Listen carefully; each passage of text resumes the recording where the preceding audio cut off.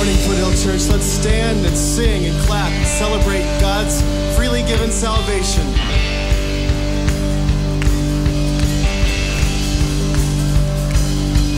I was an orphan lost at the fall, running.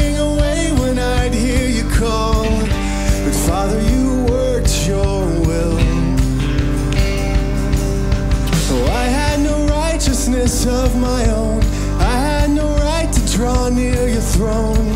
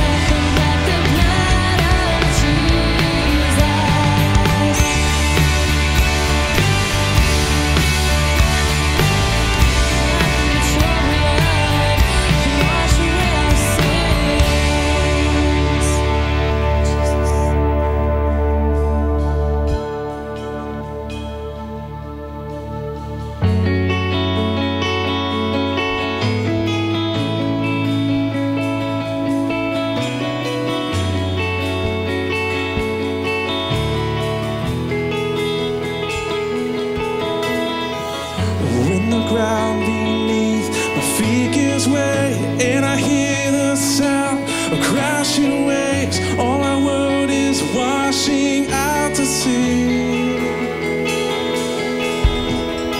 I'm hidden in the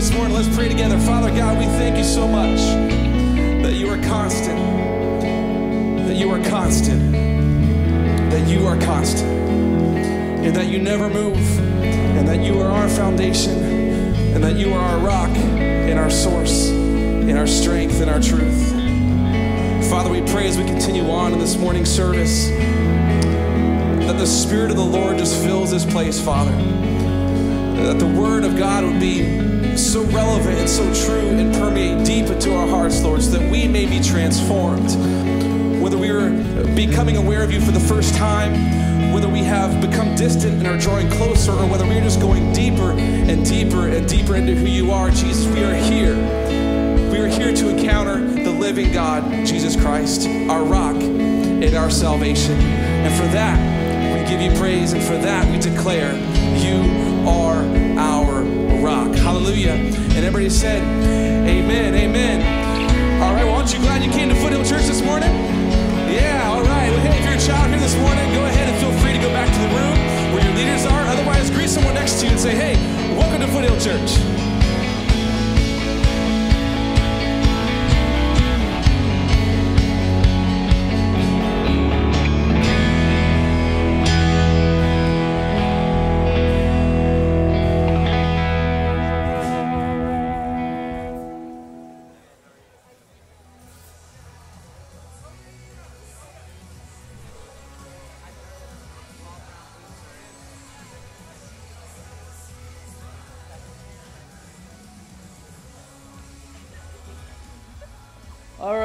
Good morning, everybody.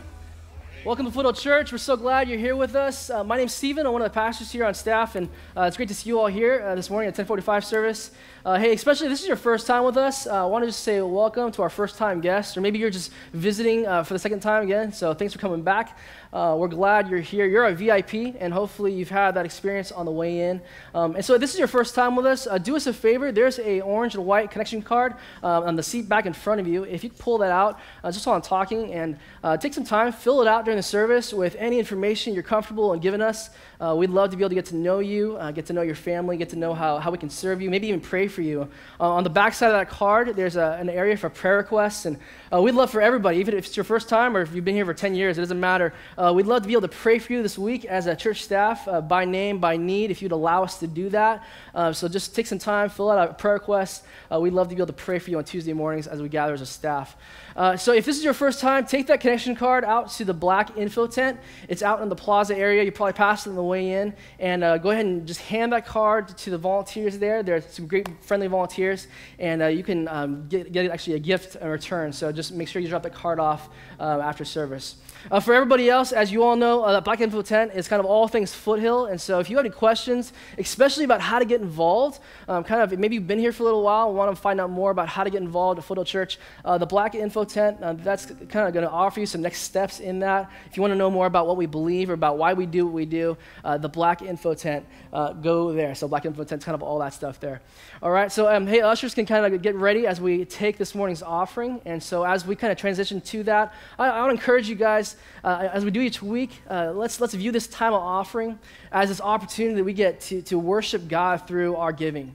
Uh, that's really what we're doing here. So, as we consider what our tithe and offering is, it's really a statement saying, God, look, your ways, your agenda, what you want to do with my resources, it's more important than what I want to do. That's what we get to do through tithing, is being able to kind of make that statement and say, God, uh, it doesn't really matter what, what I had planned. I want, I want to get on board with what you have planned. Um, it's, it's saying, God, my resources and finances, it's not just about me, it's about what you want to do in the kingdom, what you want to do in the community, Glendora, and beyond. So that's what we get to partner in in doing that. And I, I realize sometimes, maybe if you're new to tithing, even, it's, it's kind of a weird thing just to give your money away. But, but God says that if you give your money away, you don't have to worry about uh, what you have. It's, it's uh, this, uh, this opportunity we have to give it away and not have to think and stress about things like that. So I encourage you guys as we tithe to remember that, that we're in, investing in what God has um, for this next week. So if you want to give for the first time even, we have some options for you. You can go to uh, our website, foothillchurch.net slash live, and start giving that way online and set up recurring gifts, or just give for one time. That's, that's fine as well. Uh, you can uh, go and just check out that envelope on the seat back in front of you, that offering envelope, and drop cash or a check in. Uh, that's always an option as well. Or you can always text uh, 45777 and just start texting to give, and, and, that's an option as well if you've never done that before. It's very simple, um, kind of a one time setup, setup deal, but uh, you can text via giving um, give via texting, whatever, uh, that way from here on out. So, however you guys give, uh, let's just remember that it's a step of obedience. It's an opportunity we have to worship, to partner with God as, as God does some great things in this community. All right, let's bow our heads as we pray for, for offering this morning. Lord, I just thank you for this time that we have to stop and to consider uh, what we do when we give. And uh, Lord, you're doing some, some amazing things uh, in this community and, the churches that are here in this community. And God, we thank you for uh, allowing Foothill Church to be a part of that, God. We thank you and praise you for the salvations that we've seen in the past, uh, past months, Lord. The, the people that have come to you saying, God, we, we need you more than anything else. And Lord, when we give, when we, um, when we give in obedience to you, Lord, we're able to partner um, in that process, God. So uh, we ask that that you would just do great things, way more than what we could do with our money, Lord. You just do great things for, for, for your glory, Lord. Uh, we pray this all in your name. Amen.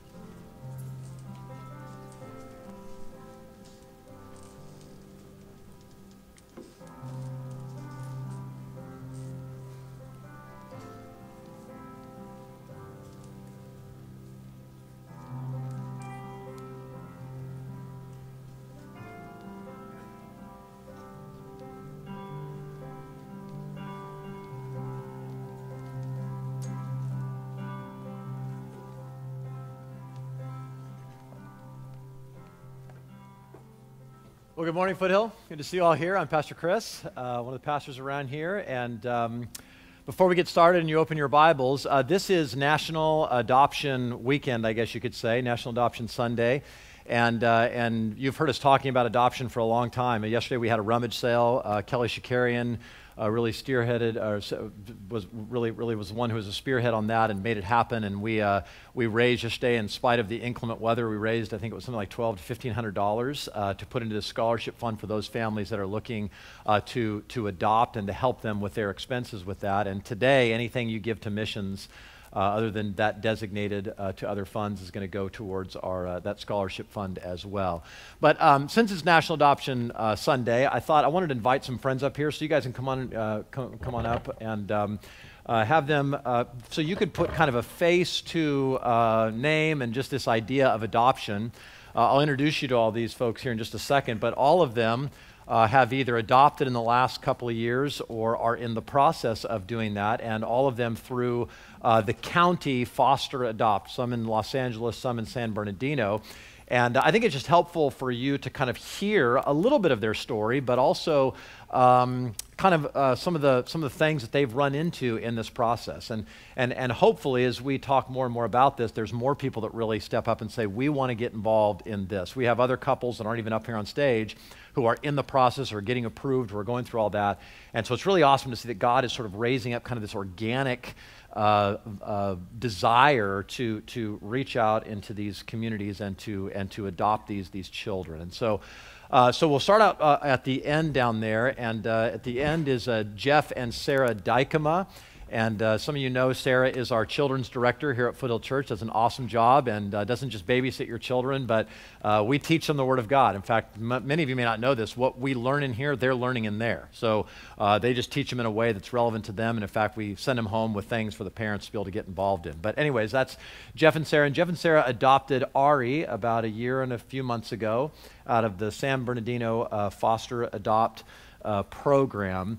And um, I, thought I wanted to just ask them um, the uh, uh, maybe I don't know about you, but but certainly for me, uh, I've tended to think of adoption in pretty simplistic terms. Like there's a, a child who needs a family, there's a, a family who wants a child, and so you just sort of put these two together, and, and that's the way it goes. But as you're going to hear, that, that isn't really how it goes. And so, Sarah and Jeff, for you, what were some of the surprises of the adoption, the foster adopt process for you that you can, or, you know, roadblocks, whatever, that you can share with us? Well, like Pastor Chris said, we adopted through San Bernardino County, um, so it's a bit different than a private adoption. Um, when we went into the, the process, we were um, required to take classes, read books, work with a social worker, home study worker, all of these things um, to prepare us for any situation that might come our way. And of course, nothing prepares you for the actual reality. Um, one of the roadblocks for us as we um, kind of started in our route was um, we were preparing mainly to foster a child first with the intent to adopt. Um, within the county is what's called a relinquishment program. And basically, um, that's a family that's willingly giving over their rights at birth. Um, well, for our situation, was at birth. Um, and, and basically, kind of walking away, um, leaving this child and gifting this child with a family. And so they actually get to pick a family for their child. So, kind of different than anything we were trained for. And so we get the call that, that Ari's been born. There's a little boy for you. Um, we go to kind of hear the case study um, with our social workers. And in the midst of having that um, delivered to us, they tell us that this family um, requires of us to have an open adoption situation, um, which means we will have an ongoing relationship with the parents, the birth parents. Ari has two birth siblings, and so that was an important part of, of, of their giving over their rights to us. Well, of course, in the moment, we're like, yeah, sure, whatever it takes, right? And and kind of looking at each other like, oh my goodness, like we don't know what that means. Um, two days later, uh, we had the opportunity to actually meet with the birth parents. They wanted, before making the final decision to, to gift us with their child, they wanted to make sure um, that they liked us, I guess. And so we had this this opportunity to meet with them one on one. And so on our two hour drive away to go and to meet the parents before ever even seeing Ari. Um, of course, we were so sick to our stomach. We were so nervous. We've never felt the nerves going on that day. But um, our prayer to God as we as we embarked on that journey um, two hours away was that God would um, give us a, a, love for these people, a love that we could not control, a love that was un, unexplainable, that could only be given to us by God. And um, He gifted us with that love that day as we sat around that circle um, across from them on that table um, we fell in love with this couple, and I can honestly tell you that it was a love that we could not explain to you. Um, we realized in that moment we would not be adopting just Ari, that we would be adopting them into our family as well, and and God only God could, could allow that in us because there's so much that goes into that and so many things that we didn't even know what that means and we still don't know what that means. Um, and so as we as we move forward, when that was first given to us, that looked like a big hurdle. But God continues to um, to, to give us that love for this family and we pray for their salvation as much as we do Ari's. And we are so excited to one day hopefully put the leaf in our in our dining room table and, and encourage them to come and, and to share Christmas and holidays with us as they're a part of our family now. So that's great. Thanks, Sarah. Thanks, Sarah. Uh, this is uh, Ryan and Jill Hartwig, and some of you remember Ryan uh, preached last week and uh, did an awesome job. In fact, uh, it was so exciting to hear this week that last last week we had eight people respond to the gospel as Ryan presented it, and um, uh, that that's more in, than in any weekend outside of Easter. So I was just so excited, and I thought I wanted to share that with you guys about Ryan and Jill. But Ryan and Jill um, have little Matthew with them that they adopted, uh, what, about a year ago? About a year? Uh, yeah, a year and a half. year and a half ago. And, um, uh, but they have three beautiful biological children. And, uh, and so, yet they decided to step into this world of adoption. And, uh, and I think the big question is why? What, what, would, what would prompt you guys to, to do that? I mean, you could have children of your own, that wasn't an issue at all, but you still wanted to adopt. Yeah. Um, first, this has been the coolest journey that we could have ever imagined. Like, God has been so good to us in this. Um, adoption was something that we talked about for years before it finally happened. Like, when we were first getting married, we kind of tossed it around. And then life just sort of happened. And we had three biological kids. And for me, I thought, well, maybe it's just not going to happen. Maybe that's something the Lord put on my heart, but maybe He'll fulfill that in a different way. And, and it kind of put that to the back burner. And uh, when we were moving out to California three years ago, um, Rye just really felt like, yeah, I think this is the time. And I'm like, what? Now? no way. Our life is in complete and total chaos. Like, this is not the time. Um, but he was right, and we kind of started pursuing that. Uh, in the past, for us, we'd always been a family that really wanted to figure out a way to serve well, uh, figure out a way to love the unlovely, love the less fortunate, um, figure out how to serve widows and orphans, and do the things that the Lord has called. But as many of you have probably experienced, it's kind of hard to do that when you've got kids in young stages, and it doesn't always feel very sustainable. So we were awesome with going out uh, downtown for an afternoon and handing out sandwiches and hot cocoa, or maybe we'd go on a short-term mission trip, even with our kids, and it felt so impactful. Um, but then eventually, within a month or two, all these things would kind of peter out, and it would it would just feel like, well, that was a good experience, but this isn't something that our kids maybe are grasping long term. Um, and as we started to pursue this again, it felt like, hey, what do we have that we can give? And we know we love to do family life. We love being parents and we love pouring into our kids. We've got a ton to give in that way. And we don't have a ton of money, but we have way more than we need. And we don't have a ton of space in our house if anyone's been to our home. It's, it's not big, but it's plenty. It's more than enough. Um, so we had these things that we could really offer. And adoption felt like a way that each member of our family could really offer something back um, and give fully uh, in a way. Um, the other thing that really was something for us, and for me in particular, is I don't feel like there are very many times in life where we take full risks. Where in America, we just aren't challenged on a daily basis to really throw ourselves at the feet of Jesus. I'm not, at least. Uh, My needs are provided for. I've got enough to eat. I don't feel like. Um, I, I just I don't feel like I'm really forced into that position of full dependence. This experience has been unparalleled in terms of saying, okay, God, I, I need you. We need you. We can't do this without you. We didn't know what was on the other side of the- edge of the cliff. We kind of stepped up and said, God, you're calling us into this, and we trust that you'll provide what we need. And we sort of just took a little leap. Um, and the Lord has been so gracious and incredible in that process. So, That's awesome. yeah. And I guess I would just simply add that we didn't know how amazing it would be, but this little guy has just been the greatest gift. His name is Matthew, which means gift from God, and uh, he's been the greatest gift. It's just amazing. You know, I, I have a son now um, who's here. He's he's a little under the weather and he fell asleep, and I'm like, I'm not going to risk him, him waking up and being angry, so we're just going to do this. Um, but it's so fun, and and it is also I think so fun for our family just to understand. I think the gospel more. I think I, I understand more of like my adoption, God's adoption of me, and the conversations we've been able to have with our kids and so on has just been amazing. Um, just kind of throughout this process. So he's just been such a great gift. Thanks, Ryan and Joe. Uh, this is Charles and Jen Mounday, and they uh, are in the process actually of uh, foster adopting. We're hopeful.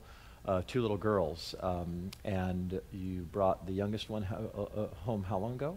Uh, almost 11 months ago. Eleven yeah. months, and then and then uh, And Stella then her, came. her sister came after that, um, three months after that, or two or Okay, three months okay. after The, that. the, yeah. the, Stella's the younger one. Sorry, I got, got them mixed around. Um, so um, uh, I, I don't know.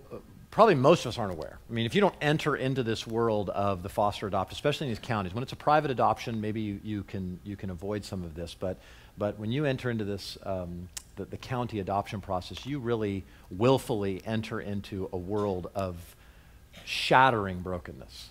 Uh, And I'm not talking just about a system that's broken. I'm talking about the people. And that's not a judgmental statement. I hope you hear me not, not being judgmental at all. It's saying this is the reality of the people and these children, of the kind of homes they're coming out of, is just almost not fathomable. Um, and Charles and Jen have had their joys and have had their setbacks and roadblocks put in their way in the midst of trying to, wanting to adopt these uh, two little girls who are, um, are still in the foster stage. And so um, this is tough. Uh, they're, they're, they're going through a, a, a hard time. And I want you to kind of hear, I mean, um, it- it's wonderful what God's done with Matthew and Ari, and there's so many that could point to things like that. But there's also families like this who are saying, man, we're going to take a risk, and we don't know what's on the other side of that wall. And we love these children. But I, I, I just wanted them to respond to the question of, of how do you keep going? What is it that kind of fuels you as you sort of look and go, man, we're just staring at the unknown all the time with these two girls? That's me. Um, yeah, we talk all the time about how if we didn't know the Lord, we didn't have a relationship with Him, we just simply couldn't do this process. And you see that all the time where people sign up for the process and they don't have that rock, that anchor, and they, you know, they have to say, this isn't for us. So we've been able to have that solid rock the whole time, unshifting, like we just sang about. And then um, the other thing that helps keeps us keep us going is our community, and, and that's why, you know, church is so important, especially Foothill Church. Um, when you know uh, our little baby came to us the first night, we just got showered with all kinds of things that helped us move forward. Everything from encouragement to clothing to you know um, things to bathe your. I had we had like six different things to bathe Stella in.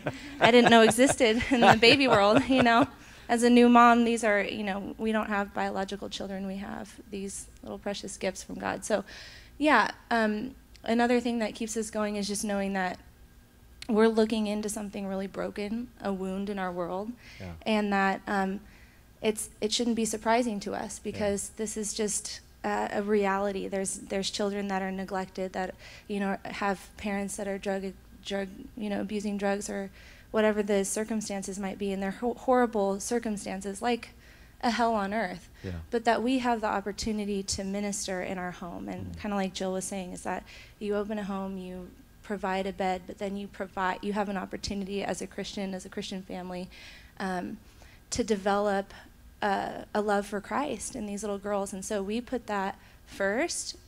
We put that prayer first. Is we pray for their salvation. If they're not with us forever, they're going to have Christ, and that's what we pray for, and that's eternal. Yeah. Wow. Charles, you want to? Okay. Well, here's what I want to do. Um, I just felt like it'd be good for us to, to pray and uh, pray God's blessing over this, what we're trying to start here, and, and hopefully we kind of see this continue, that more families step up, but, but also pray for these couples and, and, uh, and especially for Charles and Jen, who really are standing on the precipice of we don't know. We, we don't know. They got some weird news of a couple weeks ago uh, about uh, the, the youngest, right? Um, and uh, that a family member kind of wants to have her back, and, and uh, the, the, the, the courts seem to be going in their favor. But you know what? This is the kind of world that they're, they've entered into. And so we want to pray that, man, God would protect that family and keep them together, and those girls would know Charles and Jen as mom and dad, um, not for just this season of their life, but for the rest of their lives. That'd be awesome. Let's pray. Father, we love you and we thank you. We thank you that you have adopted us as sons and daughters. We didn't ask for it. We, uh, we didn't pick you, you picked us. And we're grateful for that. And God, we thank you for families like uh, the Dykemas and the Hartwigs and the Moundays and others in our church, Lord, that are, have decided to willingly step into this world and step into a world that most of us can't even fathom exists and to say, we'll take that risk for the sake of redeeming a child. And uh, Lord, I pray your blessing upon them. I pray for Ari. I pray for Matthew. I pray, Lord, they would grow in grace and, and know the power of what's happening. And God, I pray, I pray for Charles and Jen and their girls today. Lord, I just ask that in Jesus' name, you would shower your mercy upon this family, and that, Lord, you would touch the hearts of judges and social workers and all of these that need to sort of line up for this foster, uh, uh, th- this adoption to happen where they can become uh, mommy and daddy to, to their girls. And so, Lord, protect them, provide for them. We know there's a greater court in heaven that, uh, that will make these decisions, and we rest in your sovereign goodness, Lord. You are our rock, you are our salvation, and we thank you for that. Lord, bless these families, and may this be something that we just continue to see the momentum of this build as we, as we walk through the months and years ahead, that many more would step up and would enter this world for the, for the purpose of redeeming the lost and the broken uh, and bringing them to you. Thank you, Jesus, for this time, and we ask this in your name. Amen. Amen. Thank you, guys. Let's give them a hand. Appreciate you guys.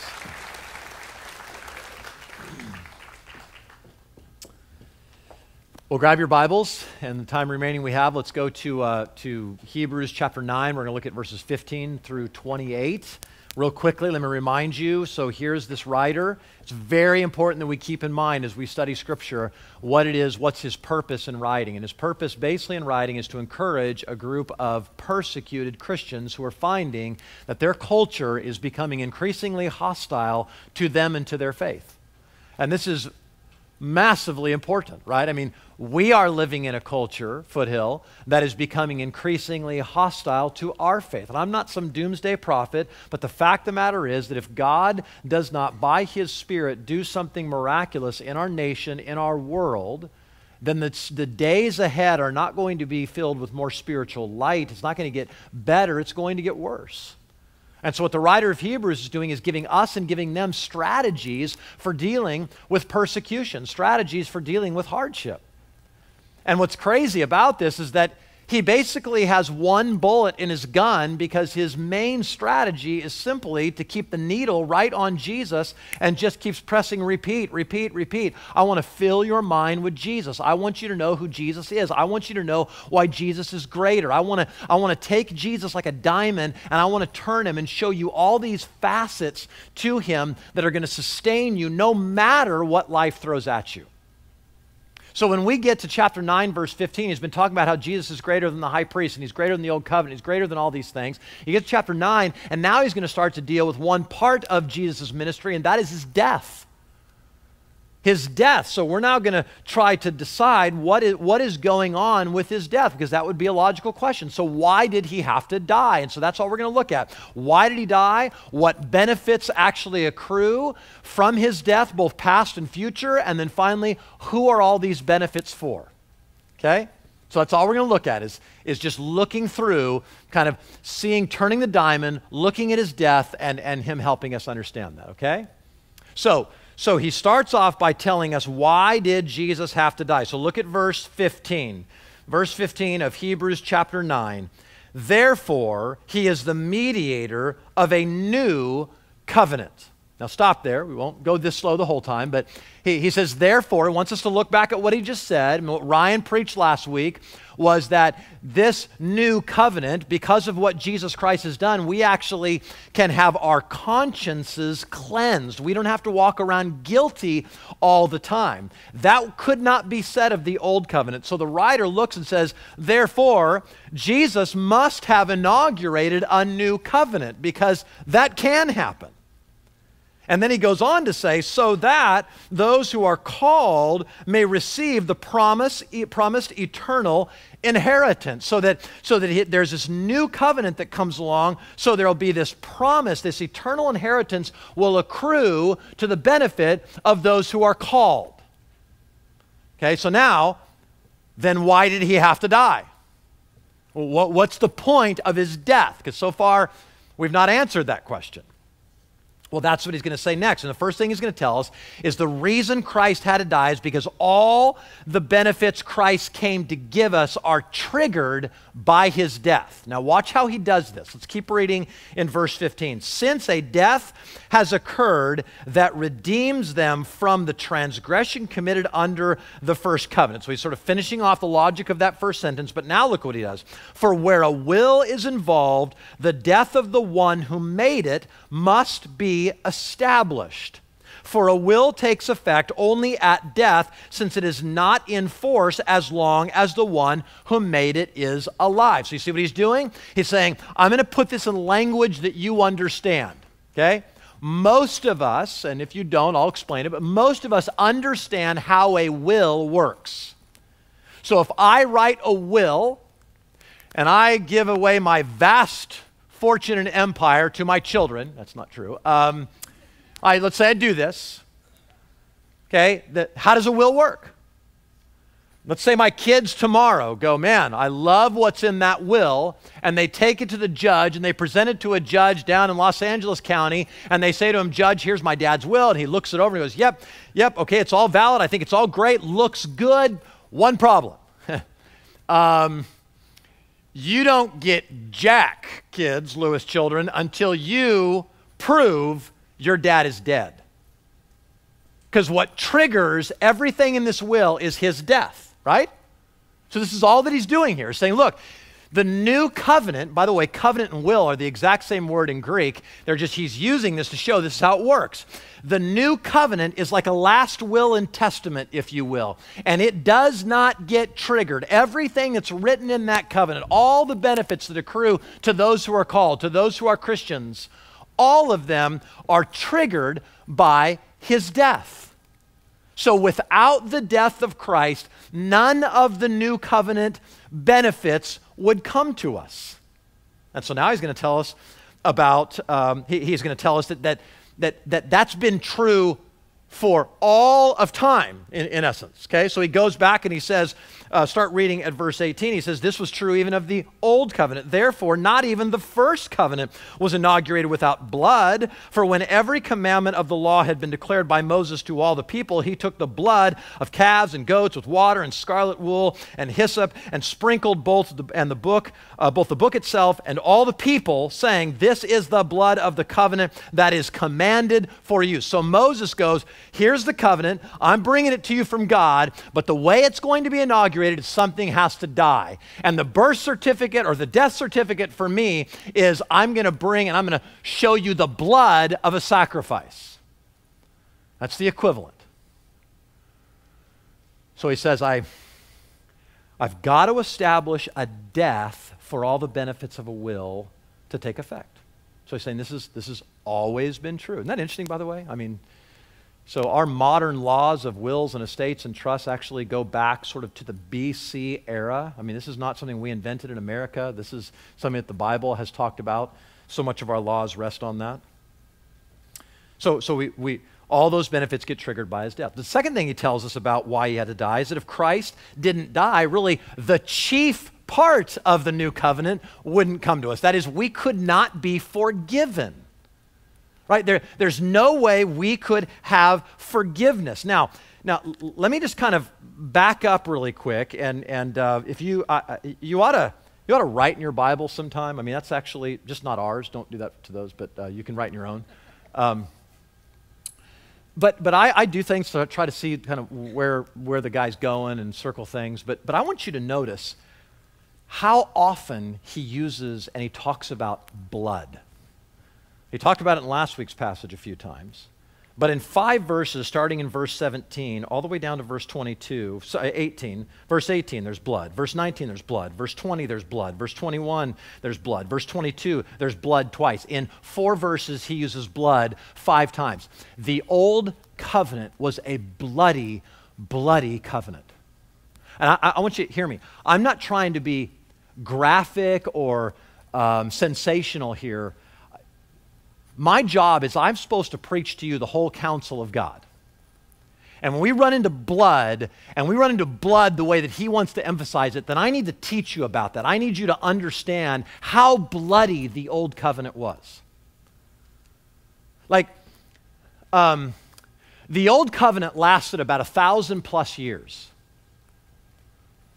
And somebody has estimated that during that thousand plus years, well north of a million animals would have been sacrificed as part of this covenant. Now, think about this. We're talking about bulls. Bulls have perhaps one to two gallons of blood. And, and, and here's the deal they slaughtered them and drained them of their blood. Okay, a sheep or a goat has about a quart.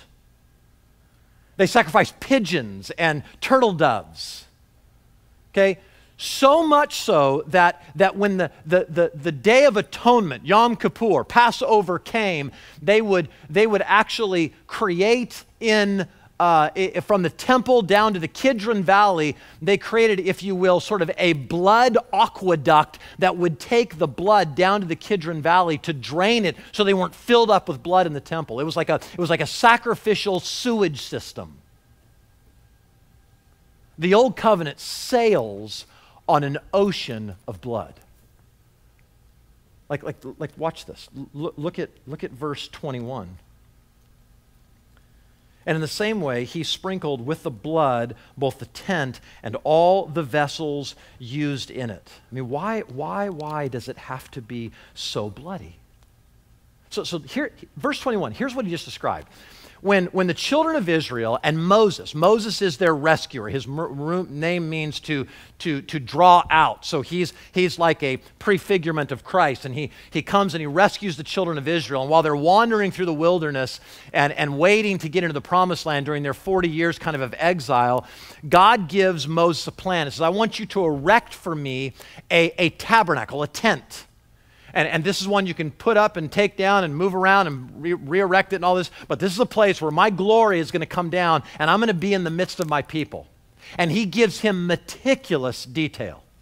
Like, you're going to weave for me these extraordinary tapestries that have like pomegranates inlaid in them. And, and you're going to have priestly clothing of the guy who walks into there. It's going to be pure white vestments. And it needs to look like this. And his turban needs to look like this. And he's going to wear this, this Urim and Thummim around his chest that's, that, that's going to look like this. And you're going to have all these temple furnishings that are going to be pounded out with pure bronze and then dipped in gold. And, and they're absolutely magnificent. And he says, And what I've done, Moses, I'm not asking you to do all this. I'm telling you, I put my spirit inside of artisans and artists and, and, and people who are going to actually make this stuff happen. I dare say, if we could ever find as an archaeological artifact any part of that tabernacle, these things would be worth billions of dollars.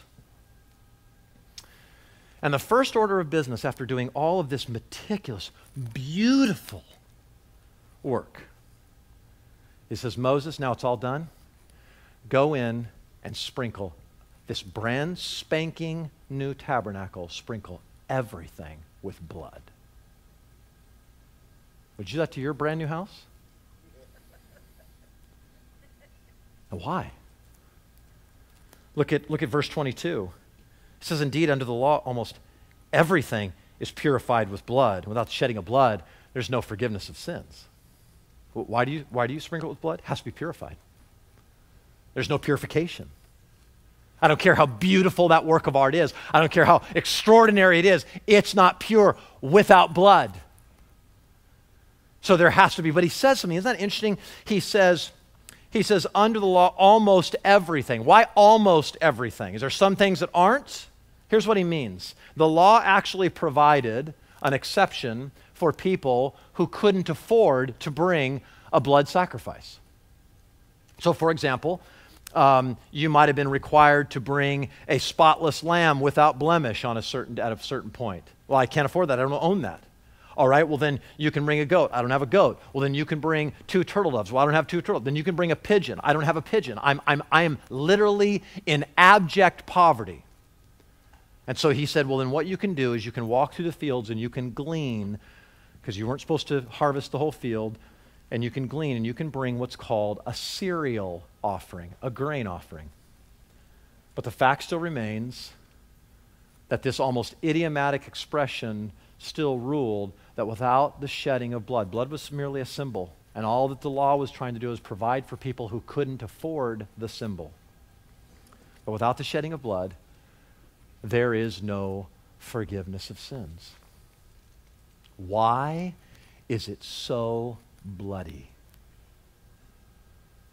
I think this is really important for us to talk about.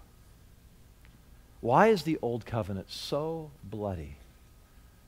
See, God paints pictures for us, and He paints very graphic illustrations for us.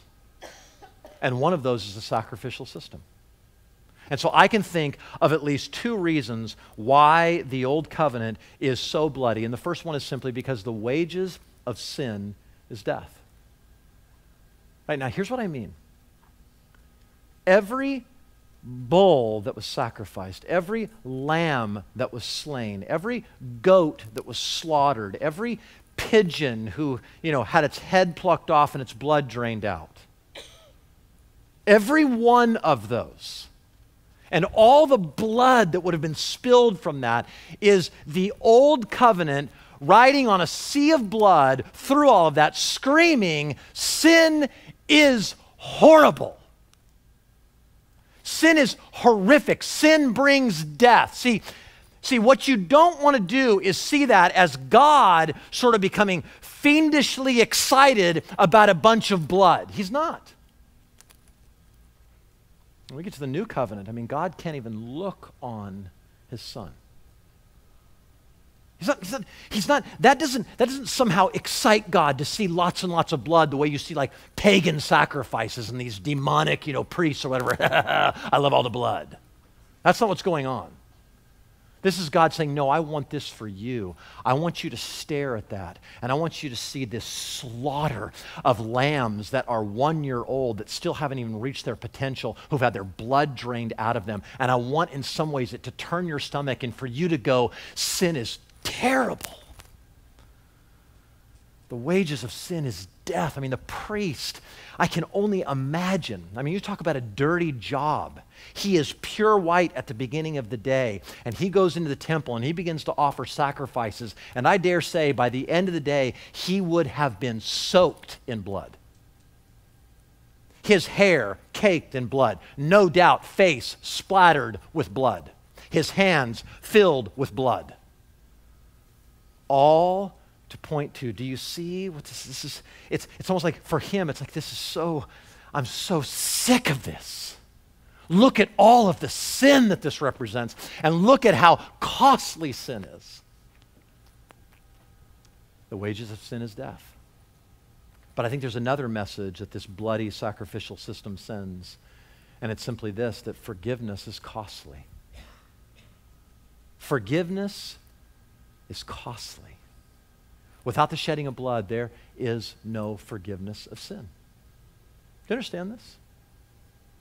You understand that to receive forgiveness costs you nothing. But to give and grant forgiveness, you have to die. Some way, shape, or form, you're going to die. You're going to do what Jesus says when he says, You take up your cross and follow me. What does he mean? You, you die every day. And one of the primary ways we will do that is in forgiving others. Right? Let, let, let's suppose that Michelle, my wife, has something against me. I've sinned against her egregiously. And she has every right to throw that up in my face. She has every right to get even. She has every right to tell me how terrible I was to sin against her like that. But let's suppose instead she comes to me and she grabs my hand and she looks me in the eyes and she says, Chris, I forgive you. And she means it. What did that cost her? That cost her all kinds of things.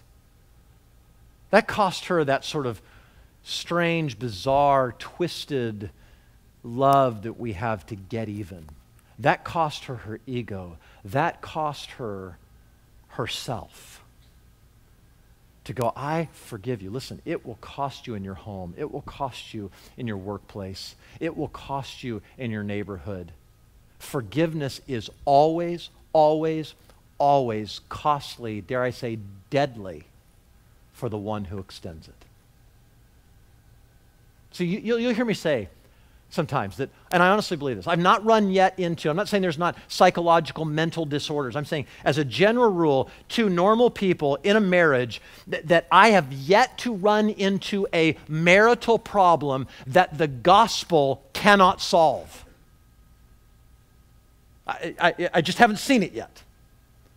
Because usually it's a, I can't forgive. I won't forgive. This person did something to me. Now I can hardly live with them. You see what I mean? When I say, so I talk about unlocking the gospel in your home, that's not just like, like, you know, okay, yeah, everything's cool. We both love Jesus. That's not what I'm talking about.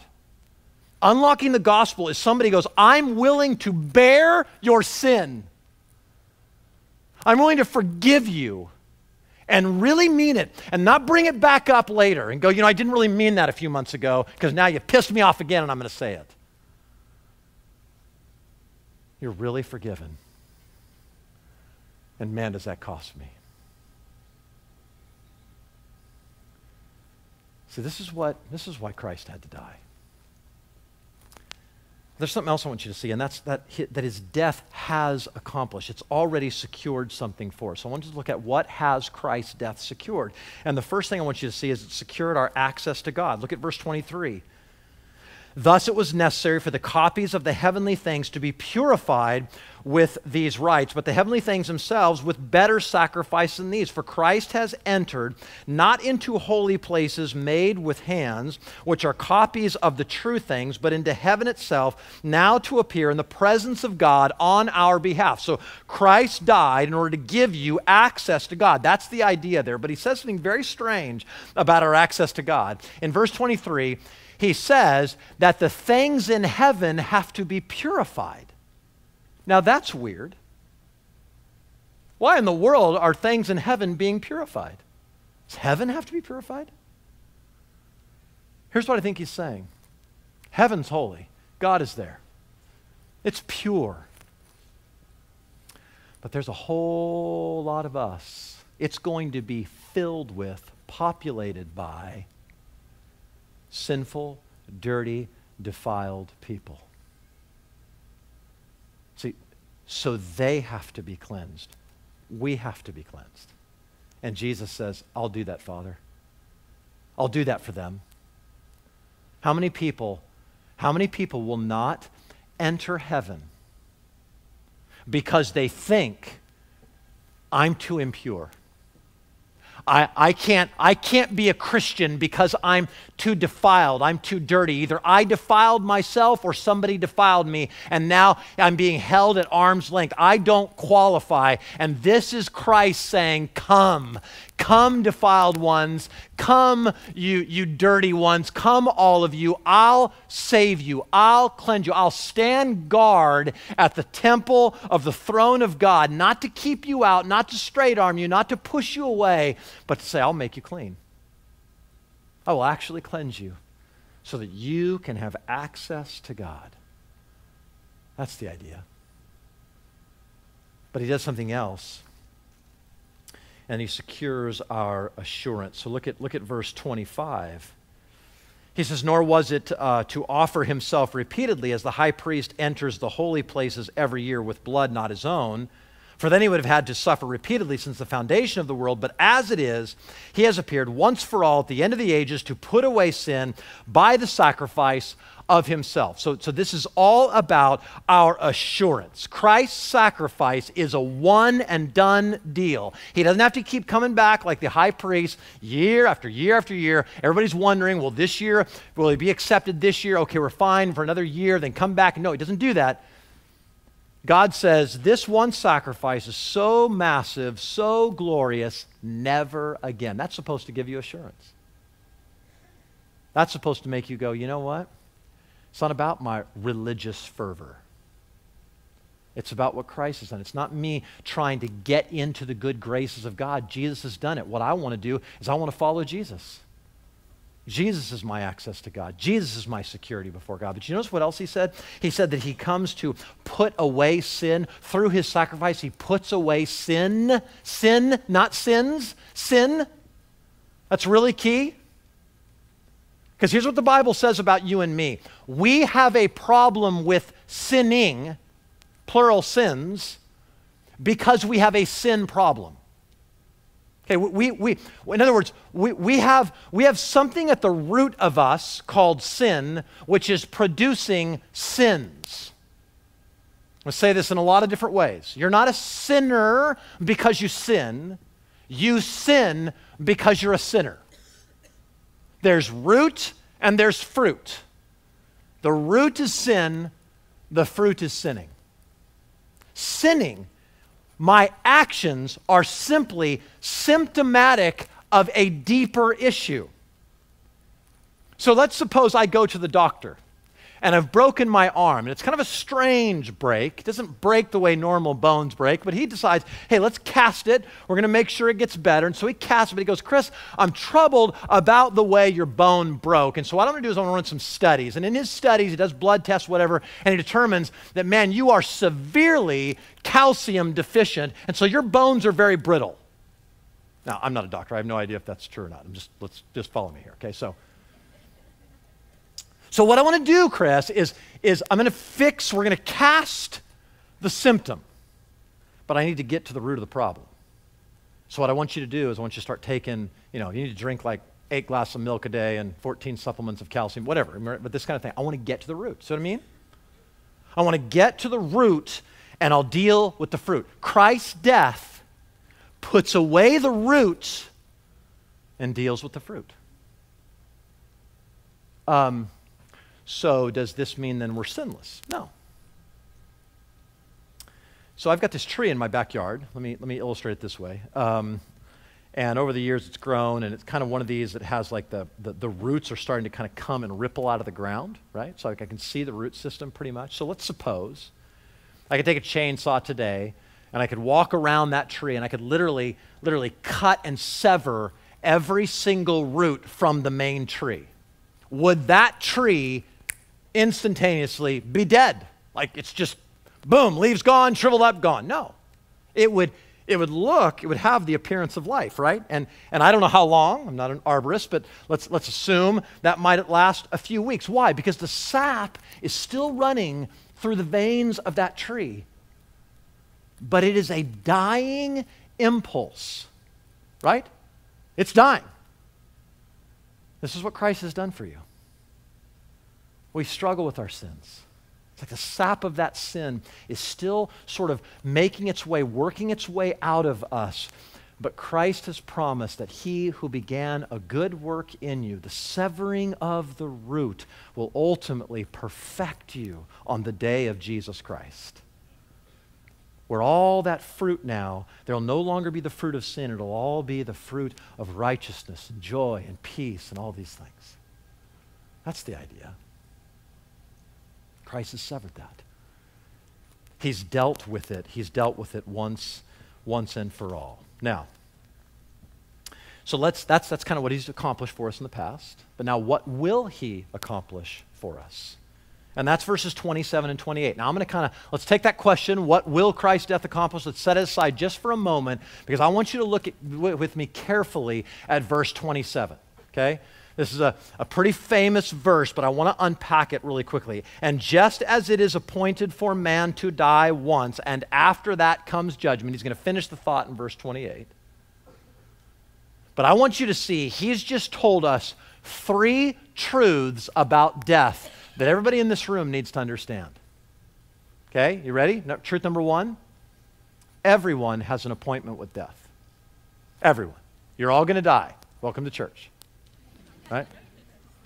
There is a one to one ratio between those who are living and those who will die. Every single person will die. Um, that's not negotiable. And listen how he said it it's appointed, it's appointed to, for man, for man to die once. Okay, so I make a lot of appointments. Michelle makes a lot of appointments. Like we, we you know, I'm going to make an appointment for our car. Make an appointment for my teeth, appointment for my, get my hair cut, whatever. We, we make all these appointments. This is an appointment that no person on planet Earth will make. I don't care if you die by putting a bullet in your head. You didn't make that appointment. And with all due respect to her suffering and the horrible things that she's going through with cancer, Brittany Maynard will not make this choice. I'm not saying she has no ability to kill herself. She didn't make that appointment, God did. We have a God appointed date with death. It's appointed unto man once to die. God, before I was born, knew the date on my birth certificate, and He already knows the date on my death certificate. Listen, listen, to, listen to what David says in Psalm 139. Your eyes, God, saw my unformed substance. In your book were written, every one of them, the days that were formed for me, when as yet there was none of them. Every day was numbered. So you understand this? Every day of yours, you have a certain number of days that God says, I know when it's all done. I know when it's curtain call on your life. And no amount of CrossFit and no amount of kale is going to extend that one more minute. It's not happening, right? It's done. It's over. That's not, that's not an excuse for us to just punish our bodies and hurt ourselves and become obese or whatever. That's not, no, no, no. That's a whole nother issue we could talk about, not right now. Th- th- this is I'm going to decide that. Every person has a God appointed, God appointed time with death. But here's the second truth I want you to see that every one of us has only one appointment with death. Right? There's only one. It is appointed in unto man to die how many times? Once. This is not a trick question. Once.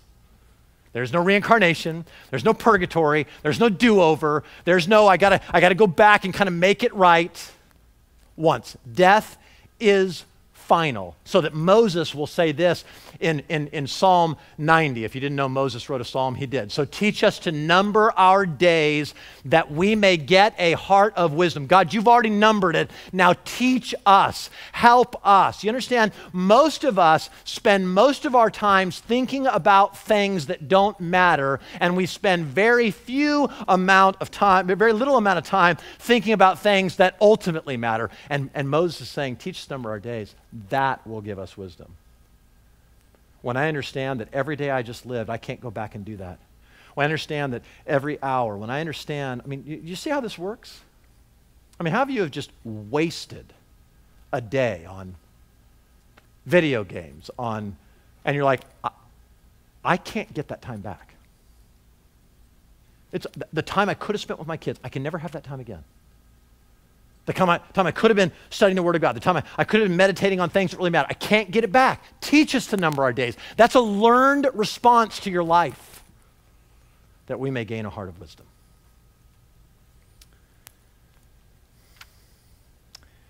But then the third truth is simply this that after our appointment with death comes judgment. See, death is final, but death is not the end. He already says this. It's after. It's after. There's, there's judgment. See, see, scientists, there's, there's scientists and atheist scientists, you know, these, these guys who are really brilliant, who are arguing about how God doesn't exist. And what I'm confident of is when I, I die, my body's going to go into the grave and worms are going to eat it and material existence is going to cease to exist and I, I'll be no more. I will, I will simply be annihilated and gone. I, I, I know there's people that believe that, but the Bible says they must suppress the truth to get there? They've got to actually willfully go, I, I mean, this is what God says. God says that no one, everyone can look out and see that there is a God who exists.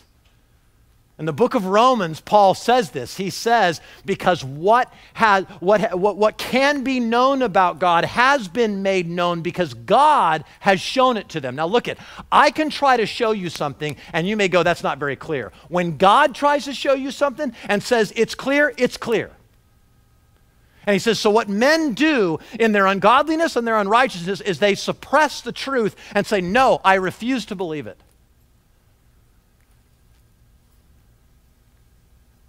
I think when people are being honest,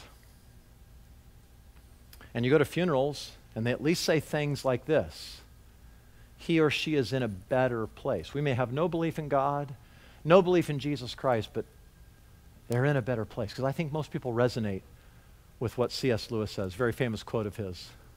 If I find in myself desires which nothing, nothing in this world can satisfy, the only logical explanation is I was made for another world.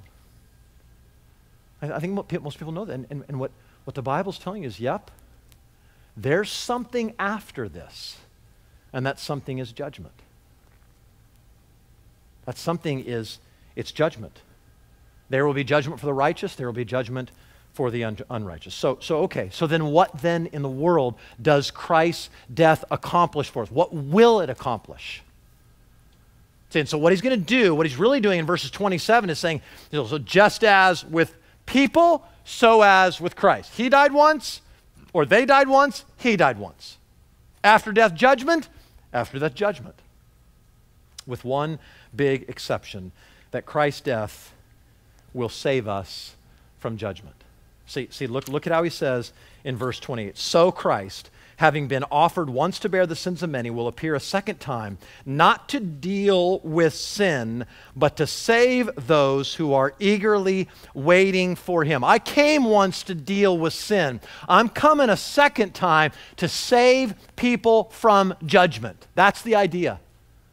The day will shut when I will no longer put away sin and deal with sin I'm coming for a whole separate purpose, and that's to save those whose sins have been dealt with, whose sins have been put away. I'm going to finally deal with them. So, who, who, did he, who did he do this for? Who is Christ's death for? Well, look at again at verse 28. He says, So Christ, having been offered once to bear the sins of many, he came for the many. And who are the many? Those down at the bottom of verse, at the end of verse 28, those who are eagerly waiting for him. This is who Christ came, is coming for.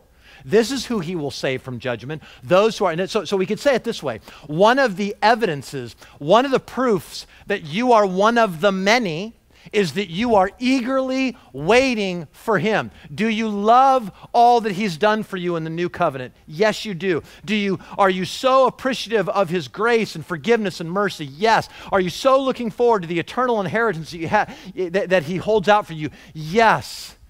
But ultimately, deep in your bones is this desire to say, I want him.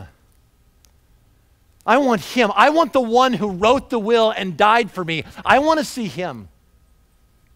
I don't want to just be rescued from hell. I don't want to just escape punishment. I want Jesus. This is Paul when Paul's writing the Philippians and he's saying to them that I may know him and the power of his resurrection and maybe may share in his sufferings, becoming like him in his death. I want to know Christ. He says, To live is Christ, to die is gain. It'd be so frustrating to the devil. Kill him. Gain. All right, let him live. Awesome. That's for Christ. It's all the same to me. But then he says, he's being very honest. He says, Philippians, can I be honest with you? My desire is to depart and be with Christ, for that is far better. I want Jesus. It's like Moses wandering in the wilderness when God says to him, Moses, I've had it with these children of Israel. He's putting him to the test. And he says, Go ahead, you can have the promised land. I'll get you there. I told you I'd get you there, I'll get you there. But here's the deal I'm not going with you. And Moses goes, Time.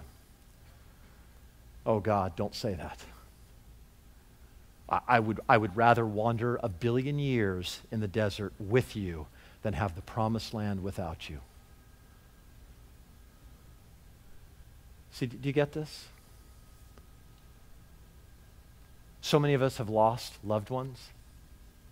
Some of those loved ones were very, very gracious in their death, weren't they? They provided for you. That they gave you things. I mean, you, the will, their death triggered things in their will that, eh, that, that were like, wow, I'm provided for. This is so gracious. And most of you, if I asked you, would you rather have those things or that person He'd say, Oh, any day. I, I, I mean, my, I, would I rather have all the things my dad left for us or my dad? I want my dad. I want my dad. And the writer of Hebrews is saying, Here is the great news. This is not an either or, this is a both and. You don't have to choose between the glorious inheritance that Christ has laid up for you, this eternal inheritance, the new covenant, all these promises, past, present, future, because in the end, you're eagerly waiting for Him. You get Him, the one who wrote the will, the one whose death provided all the benefits, is actually coming back to get those who are eagerly waiting for Him. What a promise. That's God's promise to you. That's God's promise to me. That if I am called, if I'm one of the many, if I'm somebody who's eagerly waiting for Him, if my sins have been put away, then I get all of those benefits and I get Him. Him. Let's pray. Father, we love you. And uh, I thank you once again for the power of your word. And I thank you that because of your blood, we're saved. That your blood triggered all the benefits. That your blood reminds us of the cost. Your blood shows us the horrific nature of our sin, but your blood saves us and it puts away sin forever. And I praise you for that. And I pray, Lord, for those who have not yet taken refuge in you. Lord, you're coming to save from judgment. And I pray that every person in this room would find their security in you, God, would run to Jesus, would find their protection in Jesus by faith in Jesus. Not by trying to work their way in, not by trying to be good enough, seeing the emptiness of religion that can't get them where, they're, where they need to go, seeing the trajectory of their life without Christ as being one where all they're facing is judgment instead of salvation. Father, do it. Open eyes, I pray. And then, God, for those of us who are in Christ, let this be something that settles deep within our spirit to understand all that Christ has done and provided for us.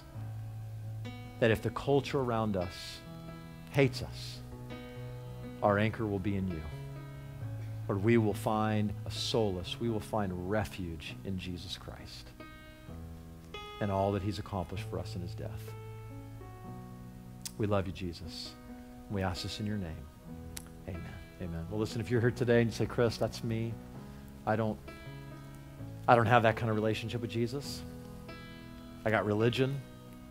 I got morality, I'm trying to sort of make my way to God. Or, you know, I've been living my life without reference to any of it. Either of those, either of those are ways of avoiding Jesus as your Savior. And He's saying, look, come to me. Come. You feel defiled? Awesome. I clean people like that. You feel sinful? Great. You're who I came for. And so if that's you, boy, don't, don't let that keep you away. Let him put away your sins. And here's how that happens. The Bible says that he, whoever calls upon the name of the Lord will be saved. You won't call unless you hear, and you won't hear unless the Spirit prompts you. And so, what I'm asking you to do right now is not, hey, what do you think? Do you maybe want to try this? I'm, I'm not asking you that at all. If that's where you are, this is, this is useless for you. But if you're here today and say, man, I have to have this, that's not me. I didn't coerce that into you. That's the Spirit of God. And now you simply say, yes. Jesus, save me. You call upon the Lord. And that's not because you walk an aisle or shake my hand or go through some mantra or anything like that. It's because you respond to what Christ is doing in you right now. And if you'll do that, He'll save you. I'd love if you'd do me a favor. Stephen talked about that connection card at the beginning. There's a white strip kind of down at the bottom that says, I want to become a follower of Jesus Christ. That, that's not saving anybody, but I'd love it if you check that box, walk it out to our black info tent, and I want to know who you are. There's no other reason for doing this than just we, we want to be able to pray for you. We want to be able to be a resource to you. And so you take, we're not going to badger you with a bunch of stuff, honestly. We just want to be able to pray for you. And so check that box, take it out there. They've got Bibles if you need a Bible, prayer if you need prayer, whatever resource we have that we can give you, we want to do that for you. The rest of our time we're going to spend worshiping the Lord together. And we're going to worship Him in the Lord's Supper as we remember this is where Jesus says, Jesus actually lifted up the cup and the bread and He says, This is the blood of the new covenant. It's going to come in just a few hours from now, He was saying. It's poured out for you. And so we take it in remembrance. We take it. We say, Jesus, thank you. This ought to be something that just caused you to say, thank you for what you've done. It ought to be a celebration for you who are in Christ, to taste the sweetness of forgiveness. So I want you to worship the Lord with us in that, okay? The instructions are on the screen. Uh, let's just, we're going to sing one more song together and we'll be dismissed. I love you guys. Let's worship the Lord together.